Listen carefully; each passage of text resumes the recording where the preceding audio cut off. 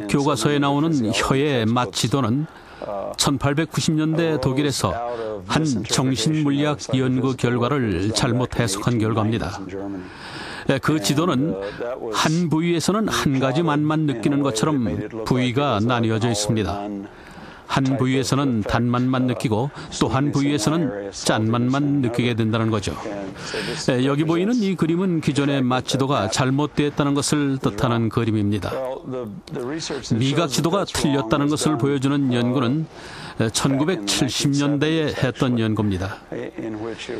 인체 정신물리학적 실험으로 혀와 입천장의 여러 부위의 맛을 느끼는 강도와 역치를 측정한 결과 혀와 입 천장의 부위에 따른 감각의 차이는 매우 미세하게 나타났습니다.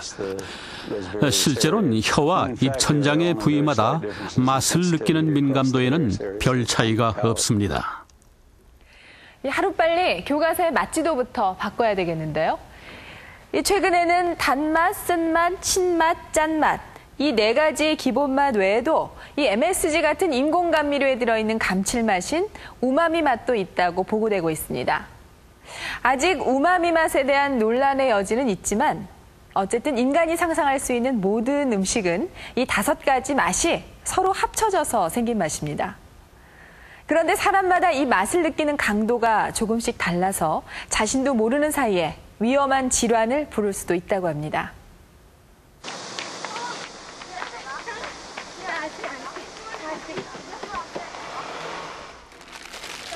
오늘도 어김없이 아이스크림을 꺼내드는 아이들.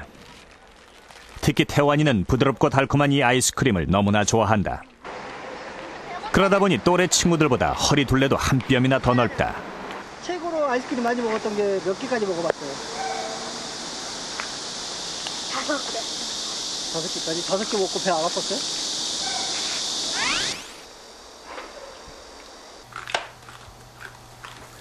반면에 상준이는 집에서 만든 쌀볶음이나 콩볶음을 간식으로 즐겨 먹는다.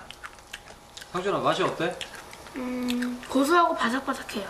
어떤 맛이 나는 건데? 맛. 쌀 같은 느낌인데 그 쌀에 물렁물렁한 느낌은 없고 바삭바삭하게 바꿔가지고 느낌이 나요.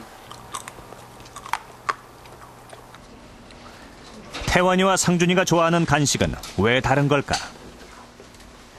혀에 그 비밀이 있는 것은 아닌지 네 가지 맛에 대한 두 아이의 미각 역치를 검사해 보았다. 그런데 결과는 예상 밖이었다. 실제로 단맛을 느끼는 정도는 별로 차이 나지 않았는데 쓴맛에서 매우 큰 차이를 보였다. 상준이가 3단계에서 쓴맛을 느낀 반면 태환이는 12단계에서야 느꼈다.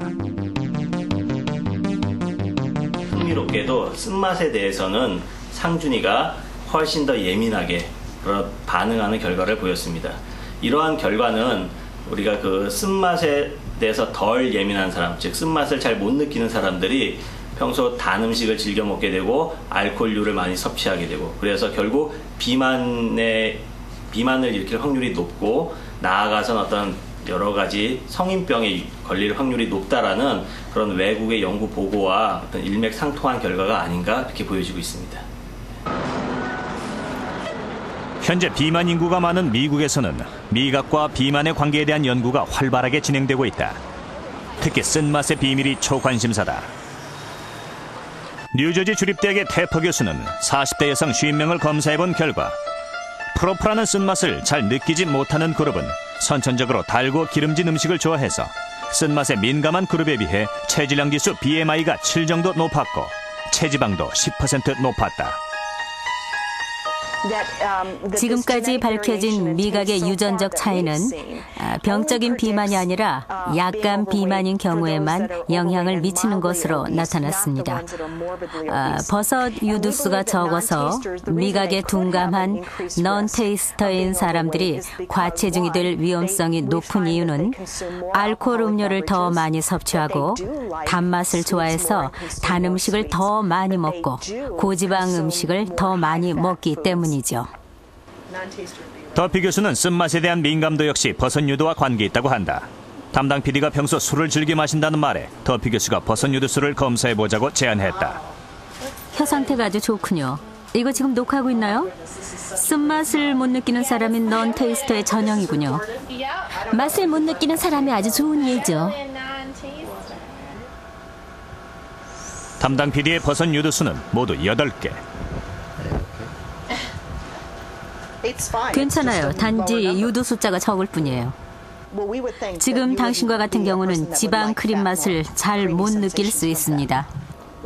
아, 이런 사람들은 술도 좋아하나요?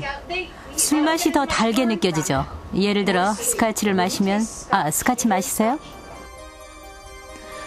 더피 교수는 다른 교수들과 함께 실제로 쓴 맛에 대한 민감도와 알코올 섭취량에 대해 연구한 바 있다.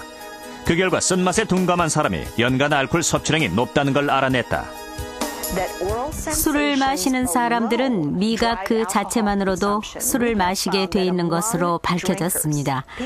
아, 술을 마시고 안 마시는 데는 여러 가지 이유가 있겠지만 술을 마시는 사람들 중에서는 맛에 둔한 non-taster들이 맛에 민감한 super taster보다 알코올 섭취를 더 많이 하는 것으로 나타났습니다. 아, super taster들에게는 알코올 섭취로 느껴지는 미각이 알코올을 과다하게 섭취하지 못하도록 작용을 하는 거지요. 달고 기름진 음식을 선호하고 술을 많이 마시는 사람들은 선천적으로 버섯 유두수가 적고 쓴맛에 둔할 가능성이 높은 것이다. 식사 준비를 할 때 늘 자신이 먹을 국을 먼저 뜬 후 소금을 더 넣고 다시 한번 끓인다는 이기정 씨. 지금 뭐 넣으시는 거예요? 소금이요. 왜요? 남편이 좀 짜게 먹는데 제가 남편 입맛을 못 따라가서 저희 거는 그냥 먼저 푸고 남편 먹을 거는 소금을 조금 더 넣어요. 아, 소금이 좀 있어야 되겠네. 그죠? 그만큼만 줄까요? 너가 좀. 아, 조금만 더. 그만나요, 그럼. 아, 그래도 뭐야, 이거. 이거 안 짜요? 아, 이 정도는 돼야지 이게 국이 시원하지. 응? 남편 박종혁 씨는 반찬도 장아찌나 젓갈처럼 짠 음식을 좋아한다.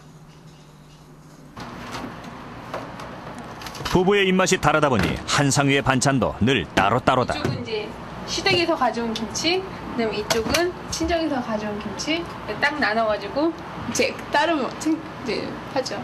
만약에 이제 제 동생이나 저희 집 식구들이 오면 이제 뭐라 그래야 되나 뭐 싱거운 음식을 좋아하는 사람들이 숫자가 조금이라도 많으면 이제 이쪽 김치를 썰고요. 이제 시댁 쪽 음식 손님이 오시면 이제 이쪽 김치 꺼내서 썰고 얼른 이렇게 바로 바로 대처를 해서 식탁을 차리죠. 짜게 먹는 식습관은 미각에 어떤 영향을 줄까? 그러니까 시각, 촉각 이런 게 전부 다 합쳐져서 맛을 느끼기 때문에 20, 30대의 식도락 동호회 6명과 박종혁 씨를 포함한 짠맛 선호자 6명의 미각을 비교해보았다. 하고 난 다음에 0.6%의 농도에서부터 1.6%의 농도까지 소금의 농도를 달리한 6단계의 콩나물국을 맛보게 한 후 가장 맛있다고 여겨지는 국을 3점으로 하고 입에 맞지 않을수록 1번에서 5번까지 점수를 매기도록 했다.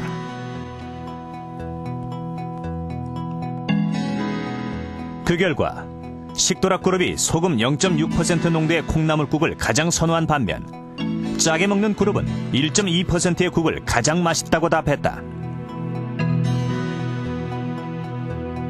저희가 그 짠 음식을 먹고 난 뒤에는 그 미각 세포가 이제 피곤해지면서 그 짠맛에 대해서 둔감한 이런 현상이 나타나는데요. 어, 저희가 이제 짠 김치를 먹고 난 뒤에 국을 먹으면 국이 상대적으로 싱겁게 느껴지는 그런 이치와 같다고 볼 수 있습니다. 근데 우리가 짜게 먹게 되면 맛을 느끼는 수용기가 점점 둔감해지면서 점점 더 짠맛을 선호하게 되거든요. 젊을 때부터 음식을 짜게 먹었던 배유찬 씨는 짠맛에 대한 미각이 둔해지면서 점점 더 짠 음식을 찾게 되었다. 지금 혈압이 144에 90 이렇게 나옵니다. 혹시 저 집안에 혈압이 높은 분 아무도 없습니다. 아무도 없으세요? 네. 평소에 자시는 거는 어떻게 좀 싱겁게 자시는 편이에요? 좀 짜게 먹는 편이에요. 짜게 자십니까? 네. 소금이 배유찬 씨의 고혈압을 부른 주범이었다. 여기 보면은 이게 심장에서 나타나는 정기적인 소견인데 이걸로 보면은 심장이 조금 커진 걸로 이렇게 나타나고 있습니다. 심장하고 혈압 관계도 뭐 있습니까? 혈압이 높으면은 심장이 두터